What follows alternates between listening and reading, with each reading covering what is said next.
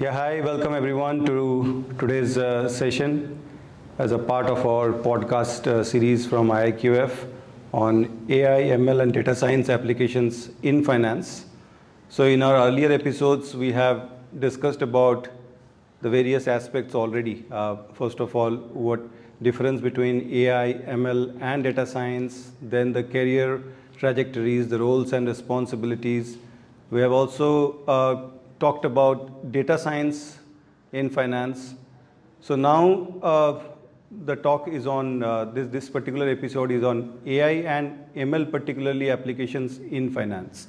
So for today's talk, uh, we again have been joined by Sanjay, Sanjay Bhatia, so uh, who, as I've earlier also introduced, just to mention it again, Sanjay has more than uh, 16 plus years of mainstay experience in risk management working across various uh, international banks and currently is working as a director uh, at UBS in the risk management team uh, where he's using machine learning and uh, uh, machine learning in data in, in, in, risk management. So we would like to hear from him his thoughts on applications of AI and ML in finance. So let's uh, uh, hit the nail in the beginning itself, right? So, uh, just for the audience, what are the uh, precise application areas of AI and ML in finance? Yeah, Nitish, thanks for having me here again. And, You're always uh, welcome. yeah, and definitely AI ML is not just a buzzword, is a reality, and we need to discuss it at an application level, which is a good endeavor from Absolutely. IIQF that they have brought down it to an application level, right? So uh, the application of uh, you know AI ML for finance uh, you know transcends different uh, you know topics like uh, the risk management right right treasury right. right your trading right. right and uh, the quantitative finance or financial engineering field. Correct. Right as well as certain other topics which are revolving around it like fraud risk which we generally call non-financial risk so right. to say. Some other topics compliance risk fraud risk, maybe anti-money laundering risk, and all of that. Even climate risk now, which is cutting across a cross-wide topic, Correct. right? As well as some of the new, uh, newly found application of uh, AIML is uh, very concentrated on doing the stress testing and scenario analysis, right? Which is an enterprise-wide uh, area, right? Uh, which is a cross-risk topic, right? Correct. Right so enterprise-wide area where you build scenarios to check vulnerabilities and to shock various factors and uh, you know re-assess uh, your portfolio risk Correct. by by you know presenting a playbook, a portfolio playbook to different shocks. Right. Right. So that's also a new area. But specifically, if you want to ask what's new happening there, right? Because uh, it's one thing having this buzzword that we are using AI, ML in these areas, but what Correct. is the value add? Right, absolutely. Right, right. So the value add is that in each of these uh, respective areas, the model built out time, right, which used to be from maybe uh, you know 18 months to somewhere around two years. Okay. Has been cut down to six months. Oh wow. So it means that uh, for real time analytics, which is the need of the hour, Correct. we are producing more models, we are producing more analytical insights and uh, these models are allowing us to experiment with a, a lot right so the right. time is not wasted in building the model but you have ample of time if you achieve that model building process in six months you right. have ample of time to experiment it with different data sets Correct. and also to validate it test it out on in sample out of the sample out of in time out of the time all different kind of samples. Right. Right? That's where the real insights are going to come from whether the model is reliable for its use in production or not. Right. Okay. I mean that's uh, good to hear but again uh, one uh, follow up question that then comes to my mind is like uh, with more and more use of like uh, machine learning or data science based models in finance uh, how do you see it? I mean, will it uh, will these models replace the traditional statistical or quant models that we have been using for last so many years, or this will be like an augmentation of the existing models? How do you see it? Okay. So I would say that it uh, the table will, ch- will change. Right. Uh, so today AIML uh, where it is sitting is that it is being sitting as a benchmark model or a challenger model Right.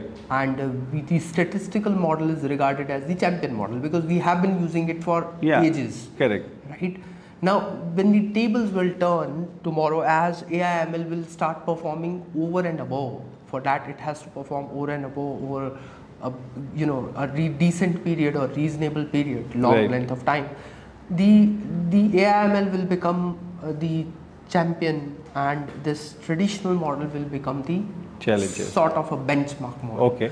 right so that's what i foresee personally i anticipate uh, that how it is going to pan out Right. right. but in many cases where there are very strict regulatory guidelines they will still keep on holding up their guns to having this uh, champion as being a statistical model and the reason is that uh, if a explainable ai right and some of the theories where, where, where you are using a game theory Right. to explain the output of this black box Okay. to various stakeholders if that area of research or that area would not evolve then definitely will be it will be a protracted kind of a development where in some cases AIML will take over as being a champion model while in other cases it will still be a challenger model Okay, very well explained.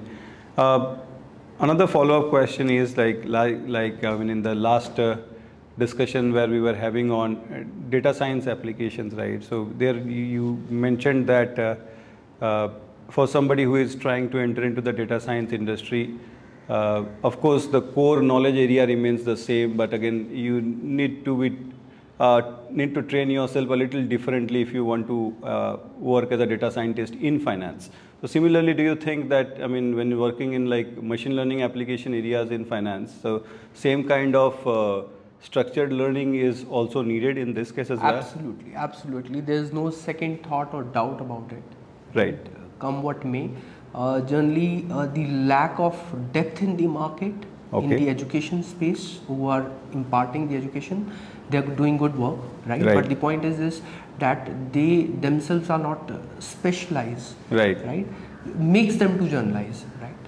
Make them leave an impression on everyone that these skills are generalized. Right. right but these skills are not generalized. Okay. right? it's not just a technology or an it Right. where it is labeled as a technology or, an- or an it aiml as a technology or it uh, uh, you know offering could be you know generic. Right. right? But it's uh, the algorithmic development the model development part of it is different from one area to another area. So is the case with uh, finance. Right. and uh, the key distinctive uh, you know you know uh, attributes uh, in finance which make somebody to learn the domain application. Right. right?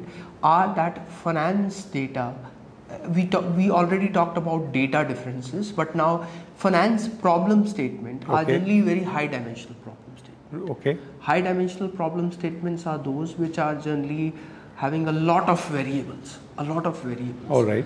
and you need that model which could uh, not restrict taking variables into the model Right. like statistical model generally restrict that there's a you know uh, multicollinearity and you should not take the, more than these models Right. uh, these these variables in the model here machine learning doesn't restrict that it has the capability like neural network has the capability of take, taking hundreds of variables into your model Okay. and then create a, a modeling formulation out of it Right.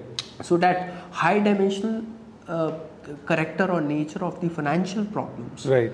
uh, you know vis-a-vis the uh, not so high dimensional nature of other problems non-financial or other industry problems Right. make financial domain quite different right from other domains Understood. All right. Okay. So, I mean, uh, so with that thought, actually, like again, uh, I mean, we would uh, end uh, this episode. Again, uh, thanks so much for that uh, wonderful explanation as always. Uh, so, I hope uh, so the to the audience uh, you got a fair bit of idea about uh, this particular topic, AI and ML application in finance, and uh, as a part of our podcast series on AI ML applications in finance, we will keep having discussions on various important aspects and topics. So keep watching this space for more follow-up episodes in this podcast series. See you in the next podcast.